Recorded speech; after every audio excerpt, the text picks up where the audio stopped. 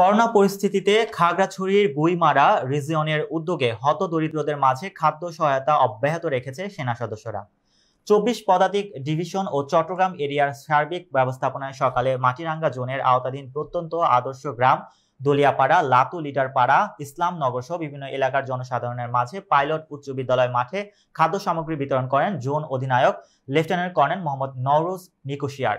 এ সময় করোনা মহামারীতে পাহাড়ের হতদরিদ্র জনগোষ্ঠীর মাঝে সেনাবাহিনীর এ খাদ্য সহায়তা অব্যাহত থাকবে জানিয়ে তিনি বলেন, পাহাড়ের কোনো মানুষ খাদ্য কষ্টে থাকবে না। যতদিন করোনা পরিস্থিতির উন্নতি না হবে, ততদিন সেনাবাহিনীর খাদ্য সহায়তা অব্যাহত থাকবে। এ সময় অন্যান্যদের মধ্যে মেজর মোহাম্মদ আরিফুল দৌলা, ক্যাপ্টেন নাসিফ হোসাইন উপস্থিত ছিলেন।